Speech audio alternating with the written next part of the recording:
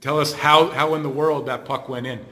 Um, honestly, I'm not. I mean, it was a weird play, right? It went through the guy's stick, off the boards. Goalie kind of went out for it a little bit, and I just used my reach and just kind of poked it in. Seems like that your line with Fowler really just found a lot of chemistry and Joe Mack as well. Just seems like you bring with a lot of confidence, right? Yeah, I think we all we all bring something different, you know.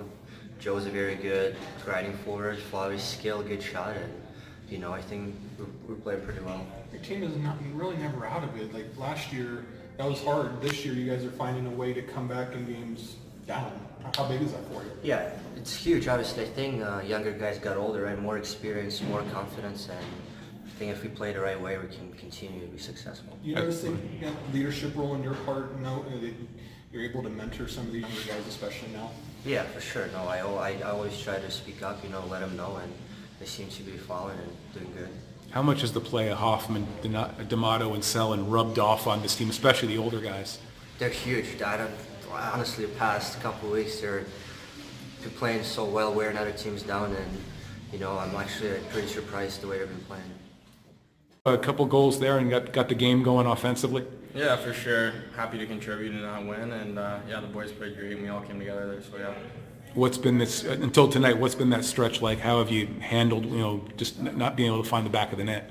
Yeah, I think everyone goes through it. I think uh, I think it was just my turn there, and uh, now that I've found it, I, I feel like uh, I'm gonna get on a little roll here. I know Coach said that, you know, hope he remembers how he got it by going to the net and doing the things he has to do. Were you getting away from that at all in previous games, or? Uh, yeah, possibly. I don't know. Uh, I think I just, like you said, just just go to the net because that's where goals are scored, and I think uh, if I go there, I'll get a couple more. Seems like the team is never out of it. You give up a couple early period goals, and yet you still find a way to win. How does that just speak to the resiliency of your team?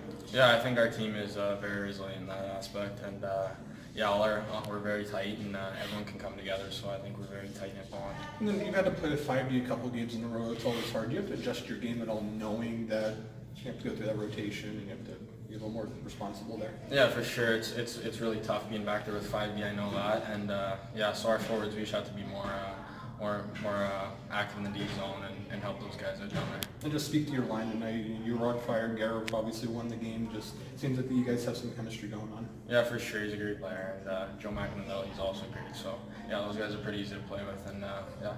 What will this stretch do for this team heading into a couple of uh, long road trips coming up? Yeah, for sure. We got a couple coming up here, so we just have to stay strong and uh, play the way we can.